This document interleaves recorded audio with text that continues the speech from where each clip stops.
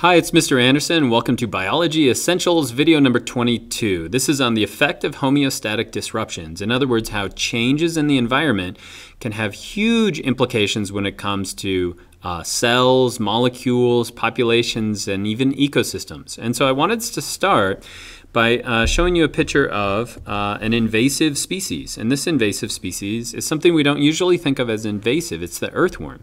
What does that mean? Earthworms in general, were not found in North America. And the reason why is that during the last ice age, as glaciers retreated from North America, it scoured the earth. And as it did that, it pulled the soil off. And so it got rid of all of the earthworms that we have in North America. Now, there were some in California and some in the southeast, but there were generally no earthworms. Um, and so they're really uh, invasive. They don't belong here. But as the pilgrims came and, and more, more uh, as uh, more recent time, as we started bringing soil and animals and things over, the earthworm established itself. And we're actually helping that problem. Every time we go fishing and we let some of the earthworms go, we're actually ravaging some of the forests. And so an example could be in Minnesota. Minnesota is not designed to have earthworms. And so the problem with having earthworms is that they will devour the material on the surface of the uh, leaves, detritus, things that are dying. And normally, the trees and the plants in the forests of northern Minnesota are not evolved to have worms. And so it's actually making the understory in a lot of forests very unhealthy. Um, and so it's a change to the environment. In this case, it's a human change, but changes can affect uh, homeostasis. And so um, Essentially, homeostasis is that stable internal environment. Disruptions then are going to be changes in the environment itself. Now, those can affect things at the level of just cells, individual cells, or even individual molecules. Example I'll talk about is just dehydration in humans. And then uh, they can also have implications when it comes to larger levels, like the ecosystem and I'll give you an example of an invasive species that really shows you the power of changes to the environment. And so let's start with dehydration. Uh, dehydration, we don't tend to think about it because we always have a steady supply of water um, in general, but dehydration can lead to huge implications very, very quickly. There are actually three types of uh, dehydration. Hypertonic de dehydration is when you're just going to lose water, what does that do to your blood? It's going to cause your blood to, to uh, shrivel up. Uh, hypotonic is going to be when we lose solutes. That's rare, but it's going to cause our red blood cells to lyse. Most of the dehydration that we get is when we lose both water and solutes. Um, and it doesn't take long for us to die as a result of that. Why is it doing that? Well, uh, we live on land, and as a result, we have to bring our osmolarity with us, and we have to maintain that. And water is super crucial to life. And if we don't have water, our circulatory system quickly is going to break down. We're eventually going to die. And so this is a uh, child that is um, dealing with dehydration after the big earthquake in Haiti, um, and some ar armed service person is helping to give them a little bit of water at a time and, and hopefully bring them back to life. Um, but it doesn't take long to die from dehydration. And so normally normally in a human, about 75% of our water actually, or our body is made up of water. So water is a, is is uh, polar. It allows it to dissolve material, and so it's a it really is the elixir of life. And so most of our body is made up of that. But if we don't get enough water in our diet, so let's say it our drops from 75% to 73%, so we have water loss. These are some of the consequences of that we're going to have thirst, discomfort, loss of appetite, dry skin, constipation, and that's just in a drop of 2%. Now, what is that water loss affecting? It's affecting our blood, it's affecting the tissues in our body.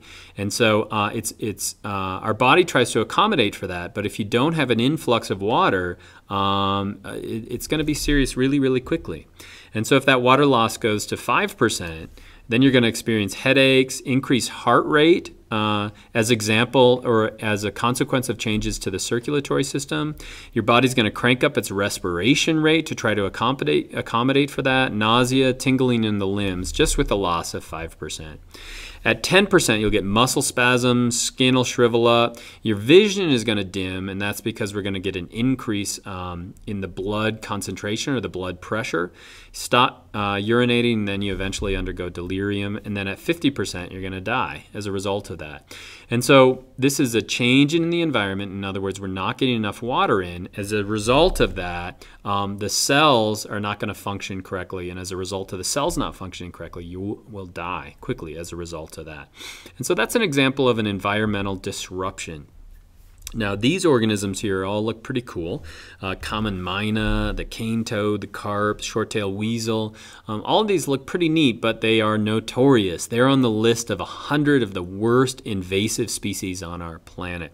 Now some of those are going to be fungi, some are going to be plants, uh, but these are some animals that are wreaking havoc on our planet and that's because they're adding to a new ecosystem. In other words, they're being introduced in an area where they normally aren't, and as a result of that, they normally don't have predators, and things can get out of control really, really quickly. And so this is a disruption at the level of an ecosystem.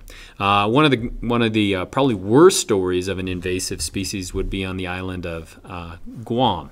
Guam, after World War II, um, was a big part of World War II, uh, but it's now a, a, a, protected democracy. I think that's how it fits with us um, to place it in the U.S.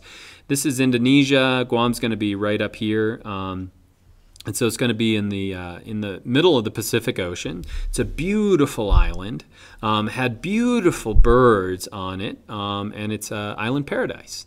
Um, but unfortunately, after World War II, somebody stowed away on a uh, boat, and this is the brown tree snake. Brown tree snake, uh, they, it wasn't found on Guam before then, and once it established itself it just went out of control. There are no natural predators for that um, tree snake, and so it quickly could climb up in the trees, eat the eggs of the birds, eat the birds, and so their populations have plummeted. I think something like 12 bird species have gone extinct just as a result of the introduction of this tree snake. Um, the tree snake, as a result, has bred out of control. I think I read at one point there were about 100 brown tree snakes per every hectare uh, on Guam, and so it's a huge number. Um, they're having a hard time getting rid of them. They're causing power outages. They'll climb up onto the transformers and short them out. And so it's a nasty uh, change to an island. It's an invasive species. And so what it's as we lose those bird species, it's going to be a change in the insect species, and so it's thrown the whole homeostasis of an island um, kind of out of whack. And so um, they're trying to trap them. They're trying to use, I think, acetaminophen to poison them.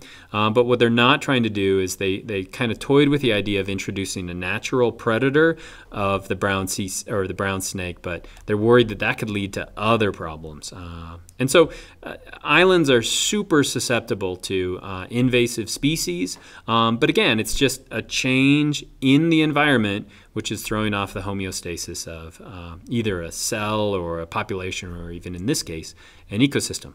And so I hope that's helpful.